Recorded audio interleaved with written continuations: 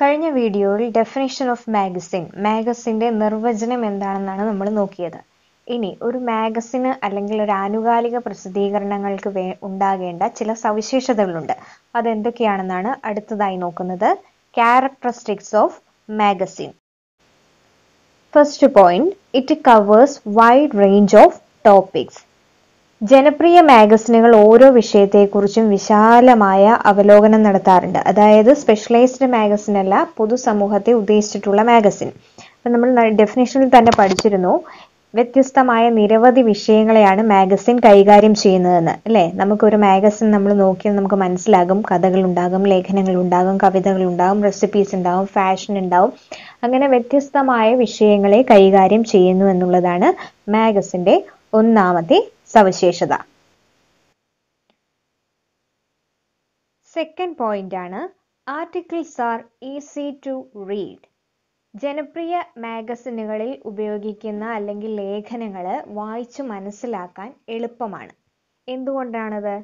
സാധാരണയായി ഇത്തരം മാഗസിനുകളിൽ എഴുതുന്ന ലേഖനങ്ങളൊക്കെ തന്നെ ആഴത്തിലുള്ള പഠനത്തിന്റെ അടിസ്ഥാനത്തിലാണ് എഴുതുന്നത്. അതുകൊണ്ട് തന്നെ വളരെ വിശദീകരിച്ച് എഴുതുകയും ഒരു സ്പെഷ്യലൈസ്ഡ് മാഗസിനിൽ അല്ലെങ്കിൽ ഇപ്പോൾ നേരത്തെ പറഞ്ഞതുപോലെ തന്നെ ഒരു ഓട്ടോമൊബൈൽ ഇൻഡസ്ട്രിയുമായി ബന്ധപ്പെട്ട മാഗസിനുകളിലാണെങ്കിൽ ആ മേഖലയുമായി ബന്ധപ്പെട്ട വാക്കുകളും ടെക്നിക്കൽ വേർഡ്സും ഒക്കെ ഉപയോഗിക്കുന്നുണ്ടാവും.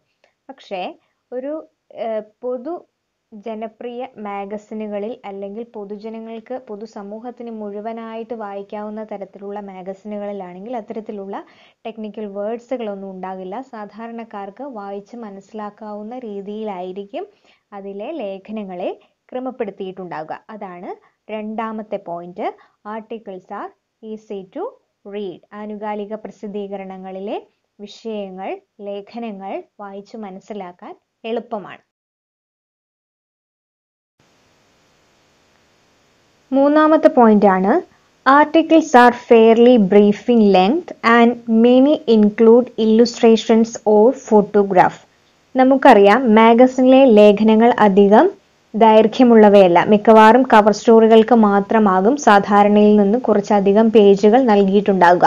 ബാക്കി ലേഖനങ്ങളോ അല്ലെങ്കിൽ അതുപോലെയുള്ള കഥകളോ ഒക്കെ പരിശോധിക്കുകയാണെങ്കിൽ ഒന്നോ രണ്ടോ പേജിലൊക്കെ ആയിരിക്കും മാഗസിനിലെ കണ്ടന്റുകൾ ചുരുങ്ങിയിട്ടുണ്ടാവുക.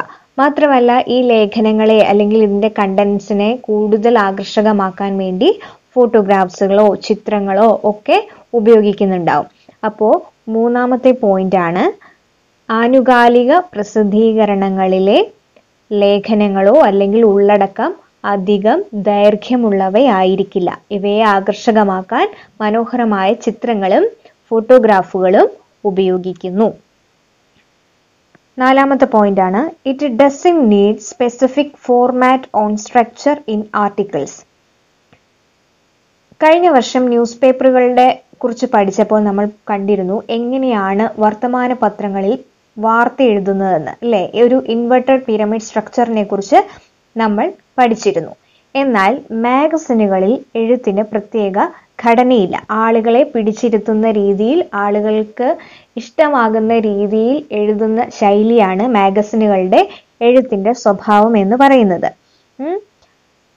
അപ്പോൾ അതാണ് നാലാമത്തെ പോയിന്റ്.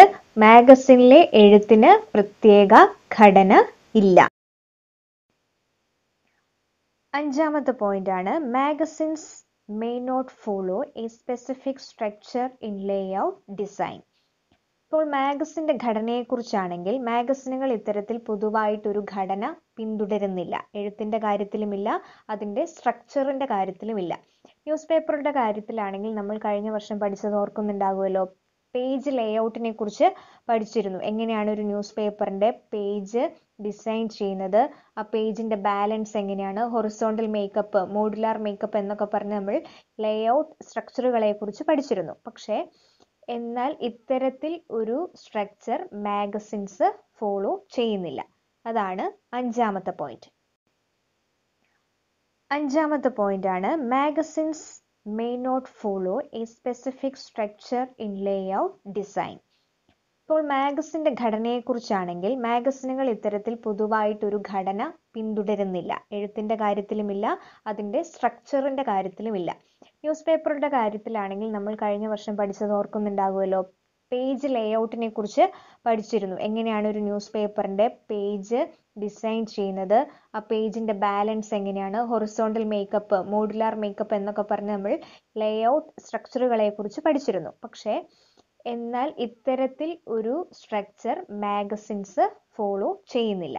അതാണ് അഞ്ചാമത്തെ പോയിന്റ്. ആറാമത്തെ point appealing with attractive appearance eye catching cover and illustrations അപ്പോൾ ആകർഷകമായ കവർ ചിത്രങ്ങളും അതുപോലെ തന്നെ ഫോട്ടോകളും അതുപോലെ രസകരമായ ചിത്രങ്ങളുമൊക്കെ വായനക്കാരെ ആകർഷിക്കുന്നതിനായി മാഗസിനുകളിൽ കൂടുതലായിട്ട് ഉപയോഗിക്കുന്നു. നമുക്കറിയാം നമ്മളെ എപ്പോഴും ആകർഷിക്കുന്ന ഒരു മാഗസിനൊക്കെ കാണുമ്പോൾ നമ്മൾ എപ്പോഴും അതിലെ ചിത്രങ്ങളാണ് ആകർഷിക്കുന്നത്. അപ്പോൾ ഇതാണ് മാഗസിന്റെ മറ്റൊരു പ്രത്യേകത.